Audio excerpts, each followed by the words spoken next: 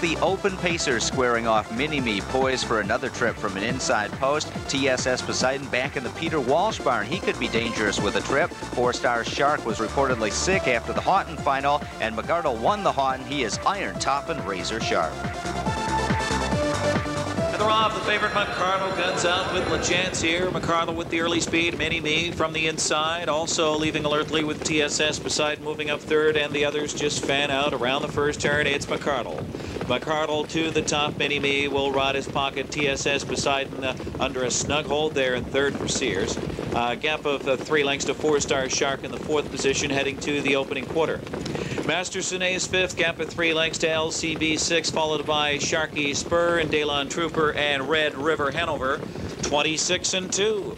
Down the backstretch, McArdle now takes a breather down the backstretch. McArdle, Mini-Me, wrestled back under a snug hold there in the second spot, right on the helmet. TSS Poseidon close up third.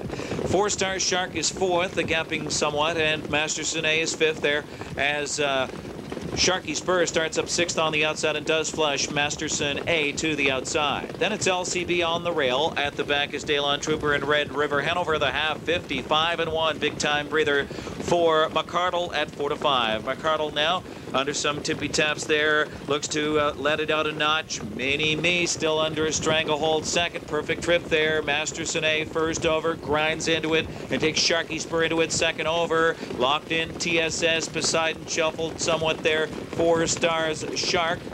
Stride for stride with uh, Dalon Trooper. Tries to get into it from third over. McArdle is uh, turning it into a sprint here. 124 and 2 into the stretch now, and it's McArdle, the Haughton winner, leading it by two.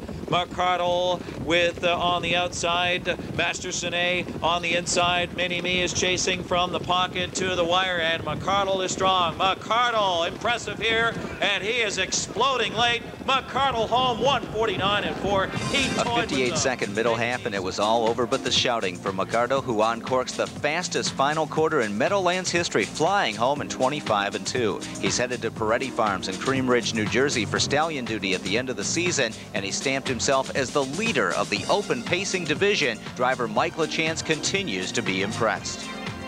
Tell us about McArdle. Uh, you've driven him quite a bit last year and this year. Uh, it's hard to imagine getting any better than he is right now. I, he's never he's never been as good as he is right now. It's uh, sound and straight and relaxed, and uh, his attitude is, uh, is at his best. Yeah. You've driven a lot of great horses, three and four. Is uh, McArdle heading into that area where we can start using the word great and McArdle in the same sentence? Yes. Yeah. You know, like he uh, he surprised me like uh, his last three start. he's fast and he's such a good mannered horse and ready for the U.S. Pacing Championship next week? I hope so. I hope we